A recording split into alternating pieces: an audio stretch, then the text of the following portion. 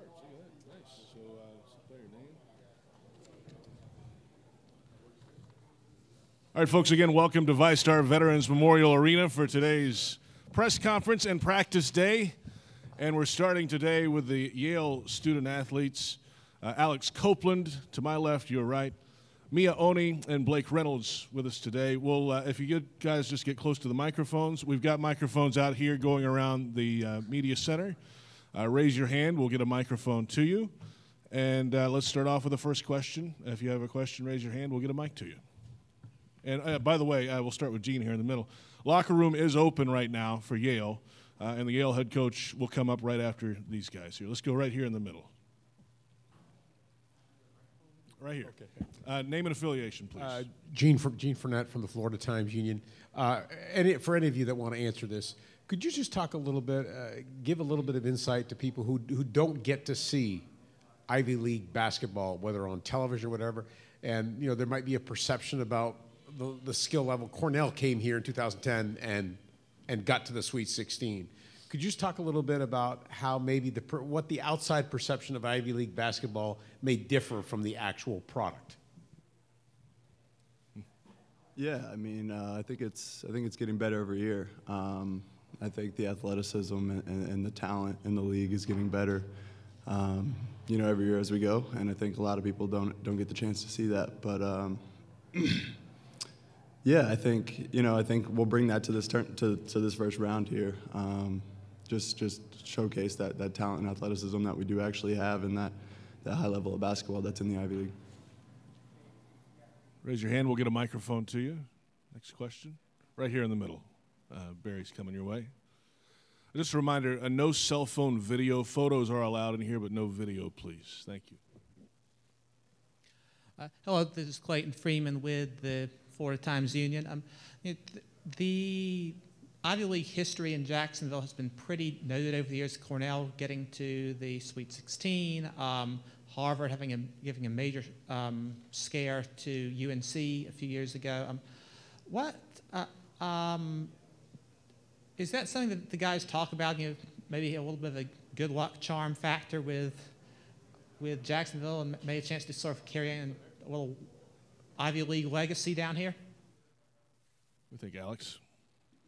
Uh, not exactly, but but we definitely know that um, you know teams from our conference have been able to come into the tournament just like uh, Blake and I did uh, as freshmen um, you know, a few years back against Baylor.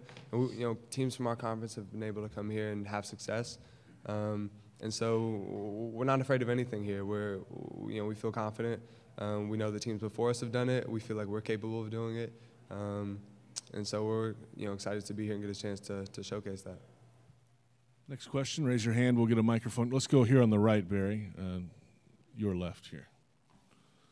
Name and affiliation, please. Uh, Will McCormack, Yale Daily News. Um, before you even knew you were playing LSU on Sunday, um, how familiar were you guys with Tremont Waters and his game? You know, him being from New Haven, um, getting recruited by Yale. Miye, we hadn't heard from you yet. What do you think? Uh, um, I think we were all we all knew who he was, and some of us had played with him and played against him at different parts. He comes back home for summer a lot, so um, we know he's a quick point guard. He's really talented, and yeah. Another question? Raise your hand. We'll get a mic to you. Uh, in the back, please. Yes.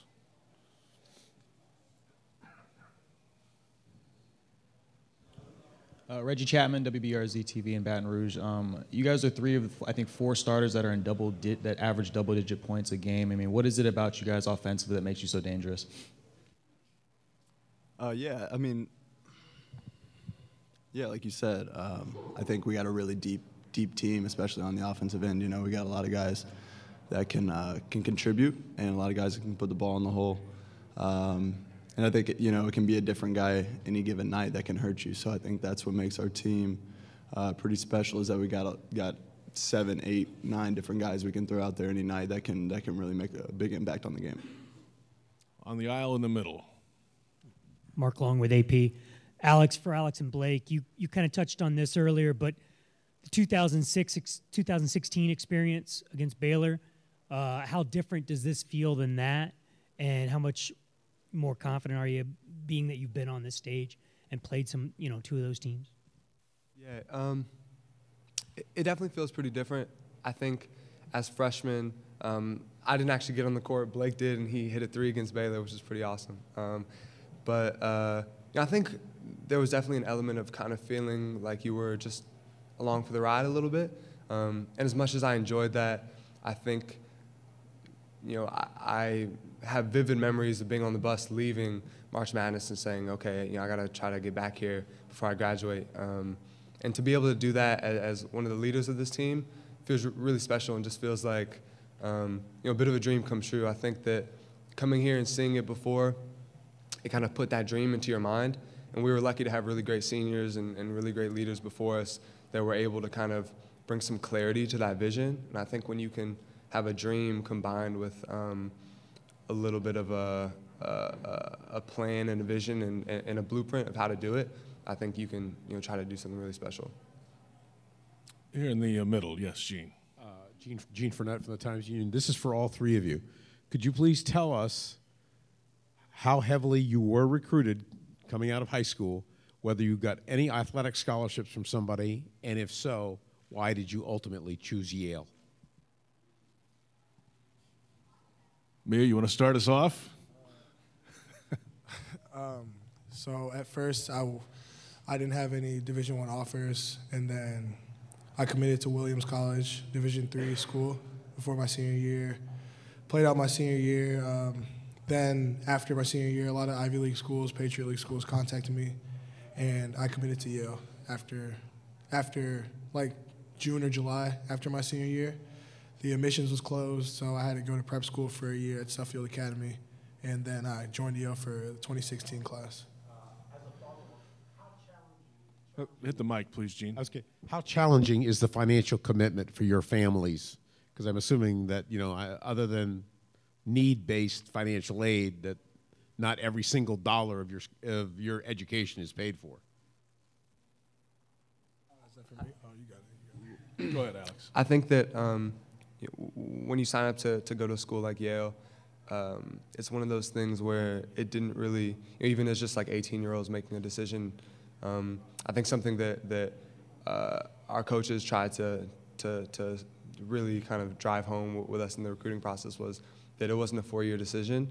Um, you know, there were definitely sacrifices that we'd have to make, whether it was financial or you know, maybe not being like, you know, quote unquote a high major school, but um, you know, we're making a 40-year decision. You know, something that, that was an investment in, in our futures, and you know, having an opportunity one to be on a stage like this, um, you know, but also to have like one of the best you know academic um, experiences and, and educations that's that's around.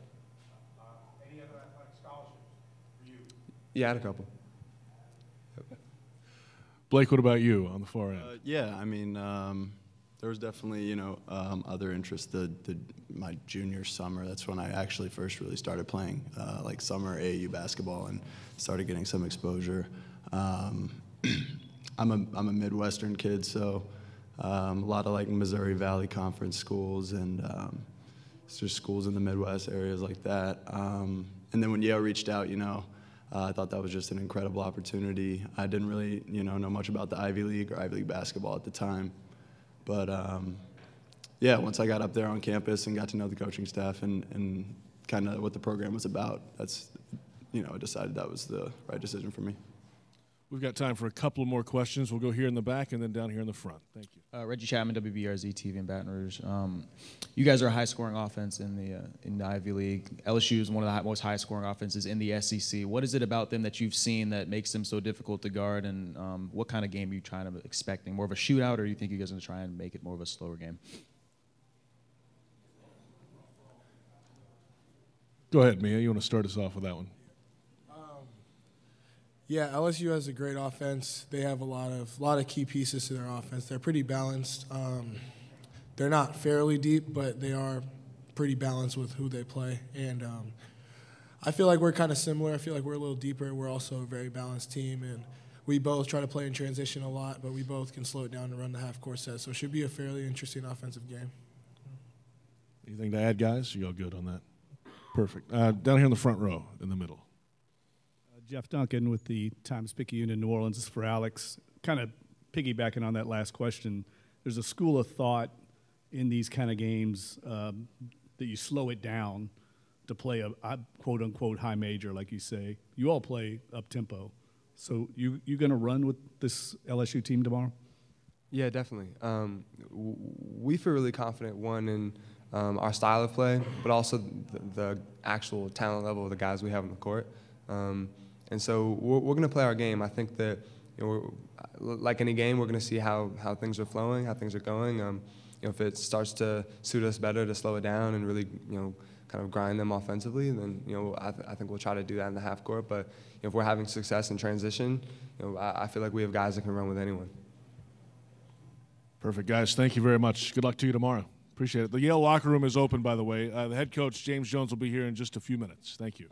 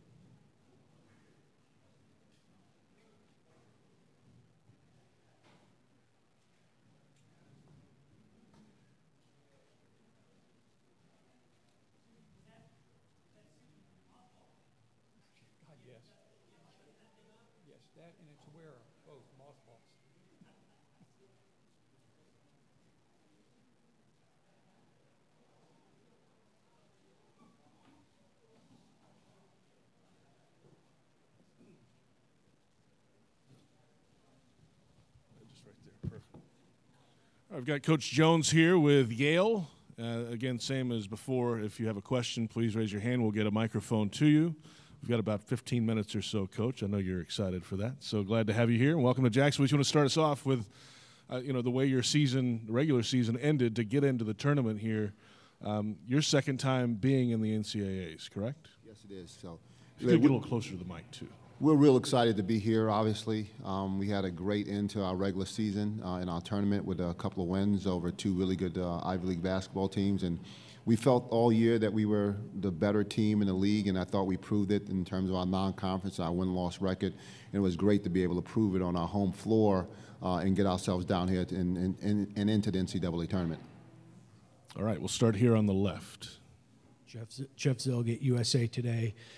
James, could you walk us maybe through the recruiting process for Miye and how he ended up at Yale? And was there ever a time where you wondered maybe if he would go elsewhere when the recruiting picked up? Well, um, I believe it was uh, after his senior year, we got a call from Robert Eichart, who is his AAU coach, um, BTI, I believe, out of um, Southern California. And he said he had a kid that uh, we should really take a look at, and he sent us some film on him. And uh, I took a look at the film, and the first time in my career I ever offered a kid after watching the film. One, and it wasn't even a game; it was like a highlight. But he had done some things in the highlight tape that were just so exceptional. Um, you know, I was born at night, but not last night, and I could figure it out, right? And uh, so we offered Miye, and he and his father flew out to Yale on their own dime, and uh, they spent. They were supposed to spend like a, a half a day with us and they got mixed up in traffic. And I believe they visited Columbia and Yale and Dartmouth on the same trip, or Princeton might have been, whatever the case. So they only spent like an hour and a half at Yale. So we sat down and we talked, and um, I had a good feel for them, and I thought they had a good feel for me. Shortly thereafter, he had gone to uh, Stanford's elite camp, and they didn't offer him an opportunity. And after that, uh, he committed to Yale. And that was somewhere in, in April or May of his senior year. And uh, then in July, he went out and he played uh, in Las Vegas in uh, Fab 48. And uh, he played better than anybody I've ever recruited in a, um, in a summer tournament. Um, they played against Thon Maker's team from Canada, and it was uh, Miye and a kid Cohen who's at Lehigh, were the only Division One players on their BTI team, and they ended up beating them. And Miye was absolutely tremendous. And Johnny Dawkins, you know, came up to me after the tournament or after one of the games, and he goes, "Oh, guys, you got a good one. I made a mistake on him." Because he was just that good, and um, his father um, is committed to education, and um, Miye is committed to education. And um, although that other people came in recruiting him, they had committed to us, and they uh, kept their commitment because of the people that they are. If you have a question, raise your hand. We'll get a microphone to you. Uh, right here in the middle. Coach, could you just talk about the challenge once you got had had gotten the job? Could you just talk about the challenge in the Ivy League? I mean, we all everybody's very familiar with the traditions that Princeton's established there, that Penn and Harvard's had their run. How tough was it to, you know, to be to come in and sort of crack that and sort of become the the standard bearer, if you will, for that league? Well, I was an assistant coach for Dick Kuchen for a couple of years, and while being at Yale. I understood um, the power of the name and what it was all about and uh, what a great institution that it is. So I was at Ohio University as an assistant coach when the job opened up and I interviewed. And in my thought process, after talking to people, they were wondering why I would want to go to Yale. Um, out of 310 Division One teams, Yale was ranked 308 when I took over the job. Uh, and they would ask me that question, and my answer would be because it's Yale. Um, I felt like if I couldn't, if I could not convince young men that we could win, and that they were going to get the best education in the world, well, then I was probably in the wrong business. And I felt that you know Yale was such a, a great place academically, and I felt really good about what we were going to do basketball-wise, that we could convince people that uh, we could make special things happen. And in getting to it, what the, the biggest challenge we had is that we had no basketball history. There's, you know, you walk into our gym, there, you know, there wasn't 40 banners up of championships. There wasn't guys who, you know, several guys who played in the NBA or whatever the fact may be. So we had to start our own history. Um, and we have, and we've done a great job with that. And I, have had wonderful assistant coaches who have gone out and beaten the bushes and found young men of quality, academically and athletically, to help us win championships. And we finally got our program to the point where we're going to be good every year. And I think that's the challenge, right? We, we've been fairly consistent, you know, uh, since I've been the head coach at Yale, and this is my 20th season, we finished in the top half of the league 19 times. And the only time we didn't was that first year when we finished five and nine and we were in fifth place. That's the worst, the worst we've ever done since I've been the head coach. And that consistency has been pretty good, but we don't want to be consistent. We want to be great right? We want to win the league most every other year, and and um, hopefully we continue to try to bring in quality student athletes like Miye, Blake, and uh, Alex, and have a chance to win every year. Next question here in the middle, yes, sir. Hey, Coach Jacques Doucet, WAFB TV in Baton Rouge. I don't expect you to get into your game plan here at a press conference, but um, you've been known for playing an up-tempo game. This might be the best collection of athletes you've gone up against, but also the, the slower tempo has given them trouble this year, teams like Florida. So how do you go about you know, doing that? Well, certainly LSU is a very athletic team. We did play Duke this year. They're not bad, I heard. Um, so that being said, we have seen, and, and, this, you know, this collection of guys that, that you're talking about, um, they've, they've had some schedules over their, their, four years at Yale. So we've seen some players. And one of the things I did last night was um, I watched uh, our Baylor game. Uh, it's on my laptop, and I like to look at it every now and again to make myself feel better about my life. And uh, and I watched the game, and um, we played them straight up. We guarded them man to man the post. We didn't switch. We didn't double. Um, we did what we normally do, and we we were able to do that because we were good enough. And uh, I think this is a really good team, and you know, offensively, we're a pretty good offensive team as well, right? We shoot. I think we're like sixth in the country with field goal percentage offense. Um, so that being said, uh, we want to play our basketball game. And if, um, if that's good enough, it's going to be good enough. If it's not, it's not. But we want to play our basketball game, and we want to be the team. We want to be true to who Yale basketball is. And, and uh, we're going to try to go out and do that tomorrow. Got time for a few more here in the front. Yes. Uh, Brian Jackson, WJXT TV here in Jacksonville. I've got a local kid, Austin Williams, on your team. Doesn't necessarily get a whole lot of minutes, but whenever you call his number, he seems like he goes out there and produces. So, what does that say about his character? Well, you listen, um, we had a game against Princeton at Princeton, and um, we got into a situation where we needed to call his number. Um, I couldn't get some guys out of a game, and both post guys were in the game from the start to about the 12 minute mark. And if I, we normally have one post sub, and that's Paul Atkinson off the bench. And then if I would have left another guy in, they would have been in for like, you know, 10 or 12 straight minutes, and uh, that's more than I'd like to give them. So we called Austin's number, and he proceeded to go in and score a couple of baskets for us. And uh, it speaks volumes to the character he is. It's, it's, you don't know how hard it is to go to practice every day and not play in a game and reap the benefits, um, and, and, sit on a bench and wait for your number to be called. Um, but what you do is you come to practice every day, so when your number is called, you're ready.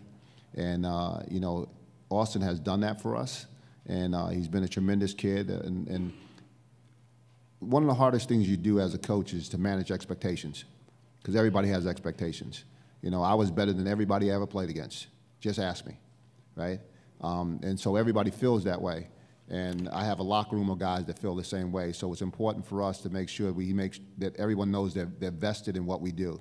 And just because you don't go out and score the points or get the rebounds or make the assists, you still are really important to Yale basketball and what we do. And I believe that Austin feels that way, and that's one of the way, reasons why he's able to go in a game and having played in like six or seven, eight or ten in a row and be able to be successful because um, he's worked hard for his opportunity and was just waiting for it.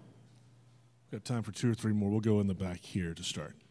Hey, Coach, uh, WBRZ TV in Baton Rouge. I'm Reggie Chapman. Um, you have you have four different starters that are all in double figures. Obviously, Miye Oni is your leading scorer. Um, for people that don't get a chance to watch too much Ivy League basketball, um, what is Miye like, and also what is it like to be as deep to have four players that can be in double figures every night? Yeah.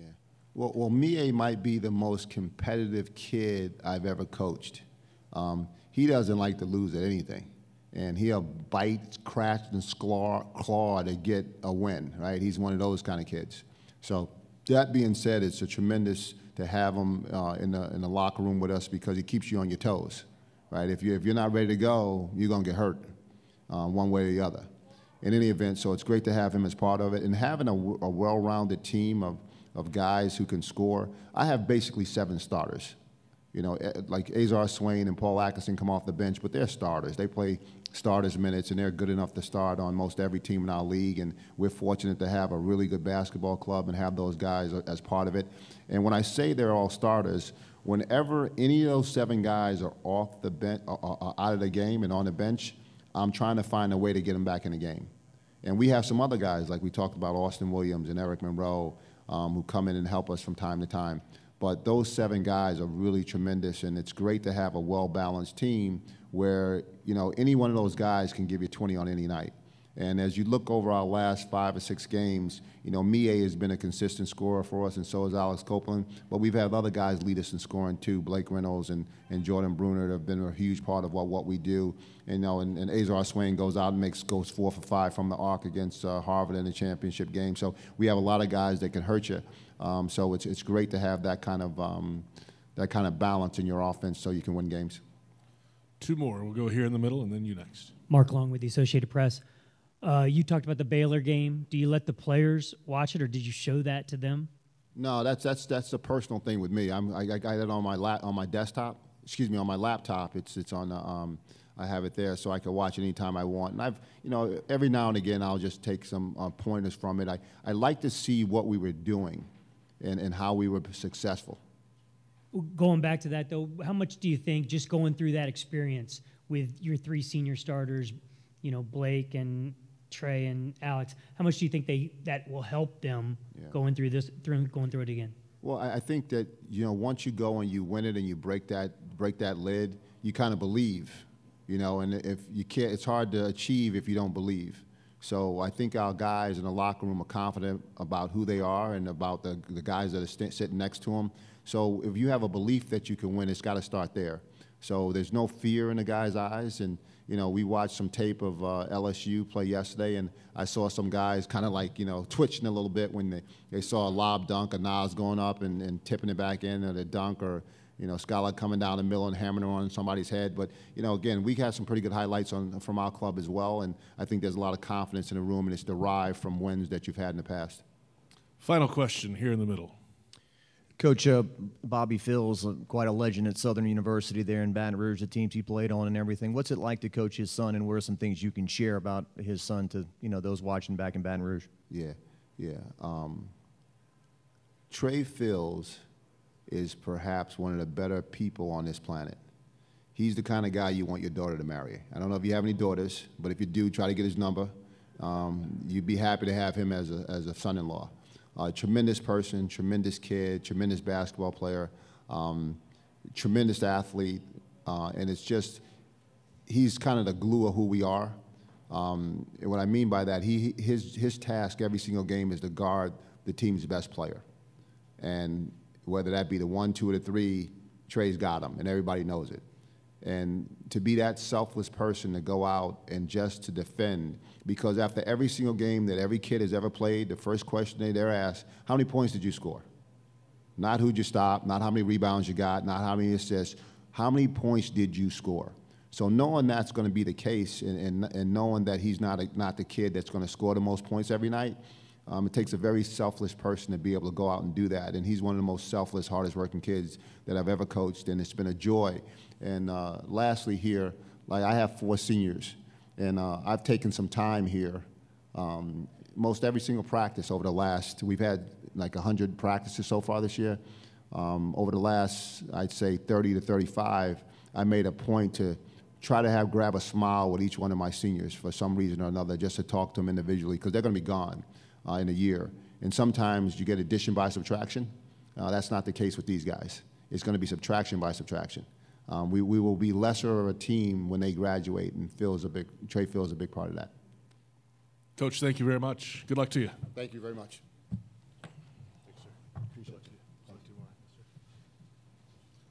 Quick schedule reminder coming up at uh, 11:05 Abilene Christian. The uh, players will start at 11:05, and then the head coach at 11:20. And yes, the media buffet is scheduled for 11 o'clock. So get ready. Thank you. We'll be back shortly.